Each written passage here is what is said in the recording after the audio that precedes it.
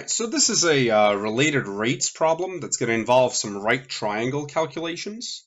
Um, and um, we're going to go through these calculations. This one's a little bit more difficult than some of the other related rates problems because it involves um, a lot of context as well as some uh, some somewhat tricky uh, a somewhat tricky situation here in terms of positives and negatives. So let's take a look.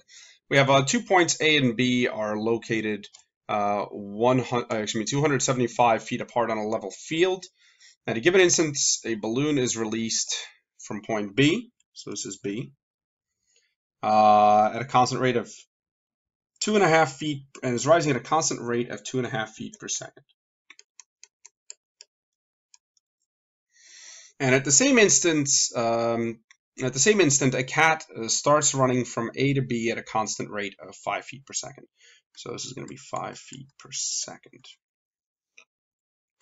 After 40 seconds, is the distance between the cat and the balloon decreasing or increasing? So uh, this right now is 275 feet. And um, we have both this balloon and this cat that are going to start moving. So the cat's going to move here to the right and shorten that distance up a little bit. And the balloon is going to move upward, make the distance between the cat and the balloon somewhat different. So let's consider the situation in 40 seconds. So in 40 seconds, our balloon will have moved up here, and our cat will have moved up here, somewhere. Now we're going to get some exact calculations here for that in a second. Okay. So let's consider what's happening here. In 40 seconds, we have the cat covering 5 feet every second. So in 40 seconds, the cat has moved 200 feet, which means this now is just 75 feet. The balloon started on the ground, and in 40 seconds, at 2.5 feet per second, 40 times 2.5, it will have covered 100 feet. So now this distance is 100 feet. And what we're interested in is this distance here, from the cat to the balloon. So you can see that this is a right triangle problem. And what we need to do here is just say, okay, we have a right triangle we have this 75 foot distance, and the cat, remember, is still moving at 5 feet per second. Okay. And uh, this balloon is still moving at 2.5 feet per second. So these things, uh, this 100 and this 75, they're going to keep changing. So what we have here is um, a problem where we need to find the hypotenuse. Now I'm actually going to add a little bit to this problem as well. This right now is only asking us, is it increasing or decreasing? I'm also going to ask at what rate. So if you note now that 275 isn't really important anymore.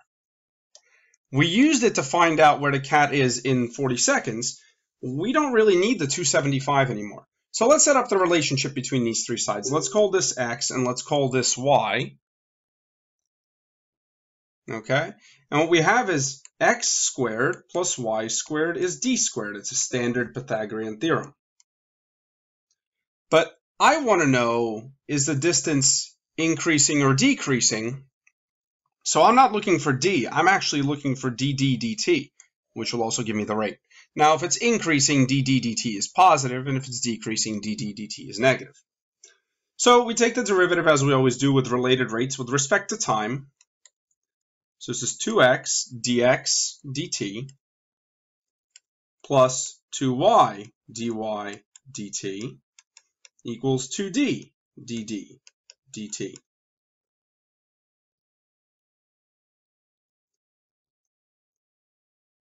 And now let's fill everything in. What we're looking for is d d dt. We know the x and y at this instance. There's 75 and 100. We also know the dx dt and the dy dt.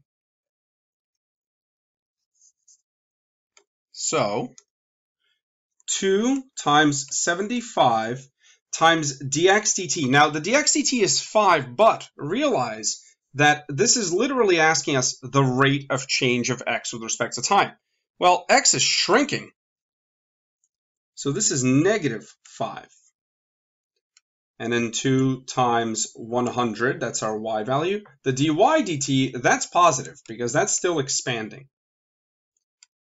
Now we don't have d at this moment, but we are interested in this exact instance when this is 75 and this is 100. So we can compute that d using another Pythagorean theorem, this time not derived, because all I'm looking for is that particular time. So we can actually solve this pretty easily. This is 125. I'm not going to go through all the algebra. Some of you may also recognize that this is a 3, 4, 5 triangle. This is 3 times 25. This is 4 times 25. So D is 5 times 25. Regardless, you can just put that information into the calculator. Okay, so we have negative 750 plus 500 is 250 dd dt. Negative 250 is 250 dd dt. Divide by 250 dd dt is equal to negative 1 foot per second. So the distance between the cat and the balloon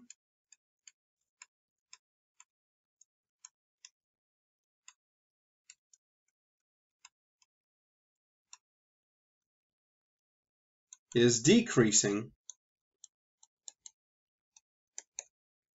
at t equals 40 at a rate of negative one foot per second. We hope you found that helpful. Thank you for watching.